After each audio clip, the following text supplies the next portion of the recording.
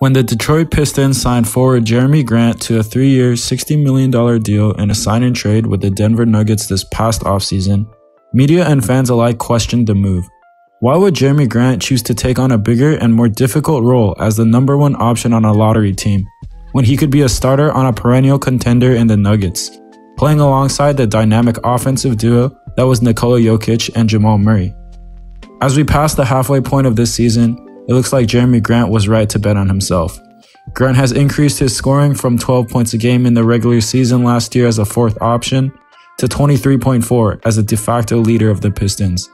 While the team has struggled, Grant has taken on the challenge of an increased load in stride and seen his name thrown around in conversations for most improved player.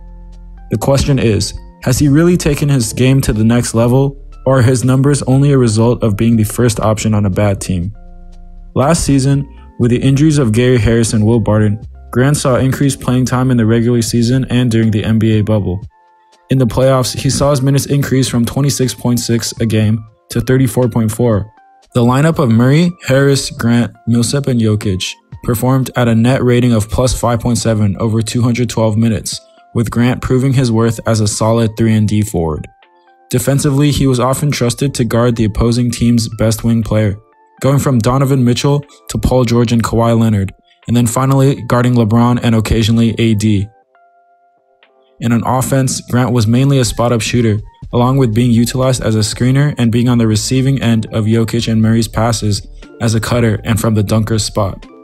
This season, Grant has seen an increased volume, as well as shots with a higher degree of difficulty.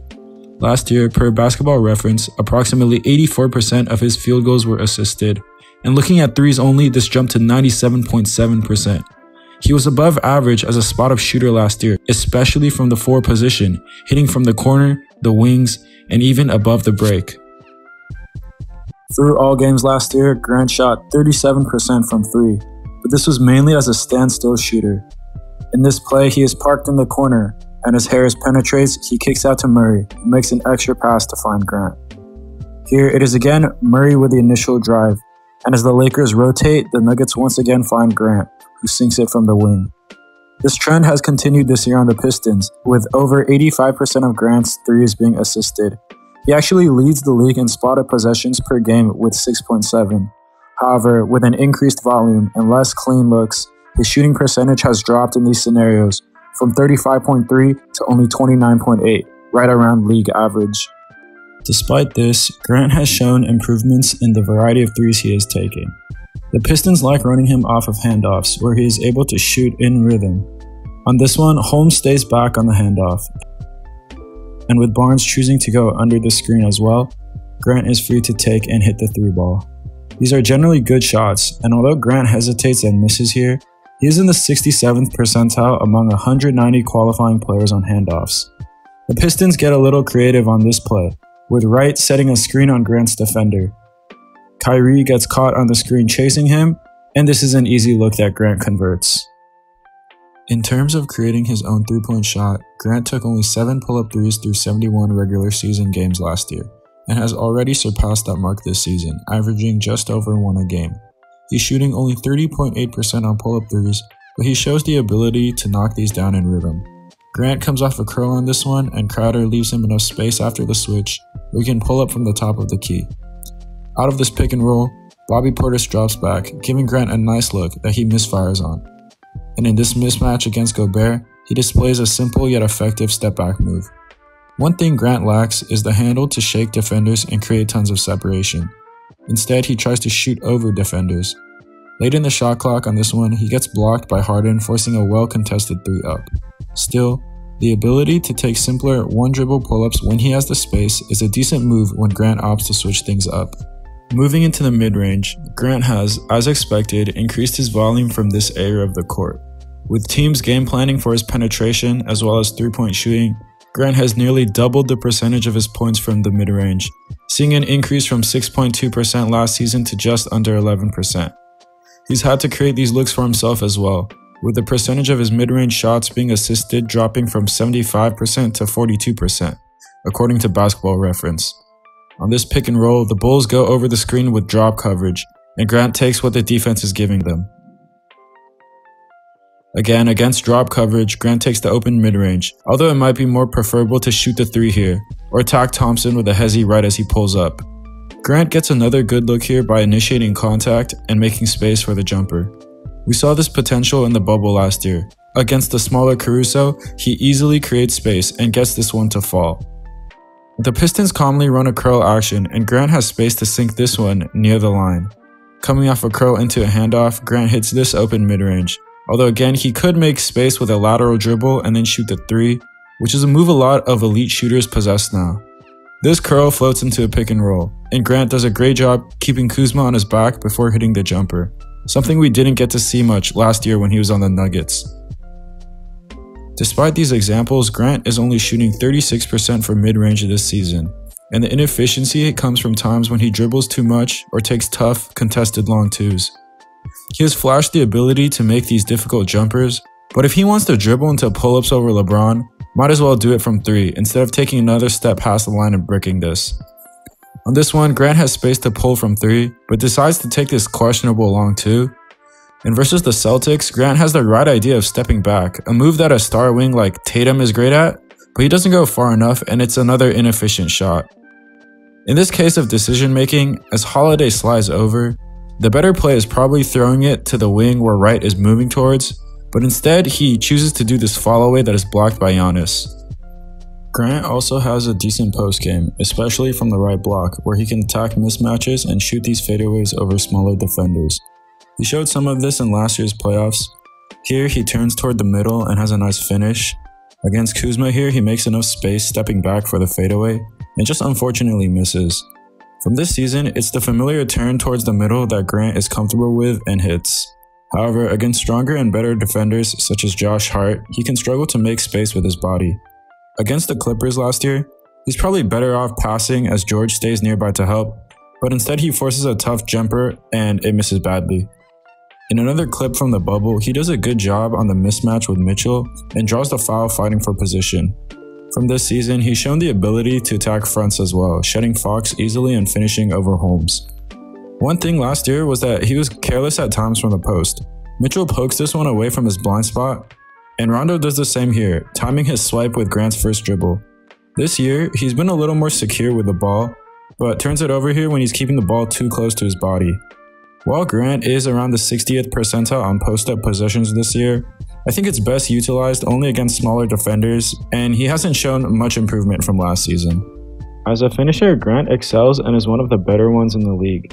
He's great driving to the lane with a head of steam, attacking closeouts, running in transition, and also has a developing floater game.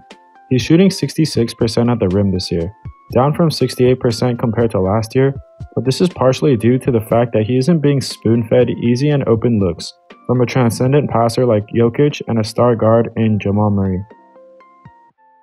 Grant has always been a physically gifted player, and he's really been able to display that this year as a primary option, with a number of dunks and finishes through contact. On this play from last season, Ingles lunges too far and Grant makes the defense pay.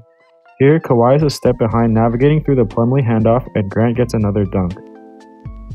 This season, Plumlee and Grant have remained teammates, and he sets a screen here that frees Grant up for another slam. They do the same action here and it's another finish, this time over Ayton.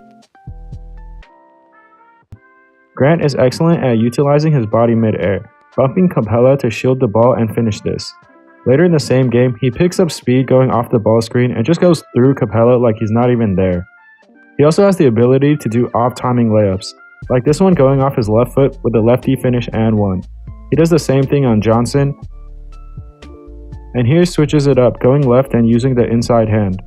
Grant's aggression has contributed to his increase in free throw rate, from 30.9% last year to 35% this season, and the percentage of his points being scored at the line has increased from 17.3% to 23.9%.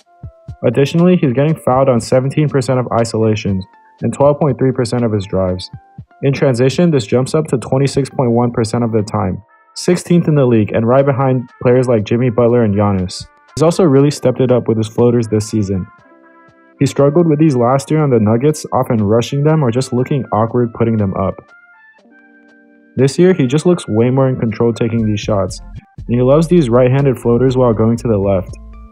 Here, Grant rejects the screen, and this is a clean look over Bogdanovic. Later in the game, he goes to it off the spin and gets the foul call. And guarded by Smart, he just rises up to flip this one in. He does get blocked sometimes on this shot, where he would be better off using the left hand. Again, Theis is on his right hip the whole time and swats this easily. He's clearly capable of finishing with his left hand like this one, where he attacks O'Neale on the closeout and gets the and one. But he is definitely weaker with the offhand and prefers using the right when possible. Grant has also remained great at putbacks and on cuts like he was in Denver. The frequency of these plays has decreased, but Grant remains 70th percentile on putbacks. He was also 80th percentile on cuts last season, but dropped to around 40th this year. However, this is more reflective of receiving passes from Plumlee instead of Jokic, and playing on a worse team with suboptimal spacing. He still has great positioning and timing, like on this play where he sneaks behind two defenders and draws the foul. If I had to make one complaint, it's that Grant could do a better job incorporating pump fakes into his game. Here, he goes up immediately and gets blocked by Jaylen Brown. Finally, we'll take a look at Grant's playmaking and his ability to create shots for his teammates. Here, he makes the extra pass to the corner, and on this one in transition, Davis is forced to cover two players and Grant gets an easy assist. On this drive, Ingram steps in to help and Grant finds Jackson for the bucket. As the roll man, Grant is freed up and delivers a great laydown, mid-air for the dunk. Grant also has shown the ability to make plays out of the pick and roll, finding the lob with a nice delivery. On this one, he buys time by keeping LeBron on his back, and Stewart is now in position to receive this pass. Here's another nice one where Stewart slips the screen and then converts. Working the screen here, Grant has the right idea of passing to the corner, but Bey cuts for some reason and it's an unlucky turnover. Off this handoff, Grant looks to drive first instead of anticipating Plumlee rolling, and after bumping off Collins, he gets the pass off a little late, but it still turns into a finish.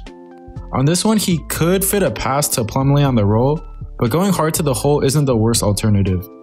Grant can sometimes struggle with more difficult deliveries like this one, as three defenders collapse on him, or here where he has nowhere to go and tries to get it into the corner. And sometimes Grant isn't aware of the better options, like here where four defenders are around him and a pass to the corner might be better, or when Curry helps in the case of a drive and there's a shooter one pass away. Still, most of the time, Grant is able to find basic passes to the open man, and is pretty good at making simple reads in the pick and roll. Overall, Grant has made big strides in several areas of his game, he has shown the ability to run the pick and roll as a ball handler and added a variety of finishes to his inside game. Considering his increased volume, as well as playing on a bad offensive team with poor spacing, the decrease in his efficiency is not too surprising. Grant isn't the player who can be the number one scoring threat on a championship team. Instead, he's best suited as a second or third option on a championship caliber squad, which would be a complete steal at 20 million a year. He definitely fits as the long term option at the four for the Pistons, but as far as winning the most improved player goes, I think his increase in scoring is primarily due to his change in role and increase in shot attempts. Grant showed flashes of his skills in the bubble last year, but in my opinion, he hasn't quite added enough to his skill set and offensive back this year to win most improved. Instead, I think a player who has made the quote unquote leap to stardom would be more deserving of most improved such as Julius Randle or my personal pick, Shai Gilgeous-Alexander. If you like this video, please subscribe and leave a like and comment below, and hopefully I can continue making more basketball content for a growing audience.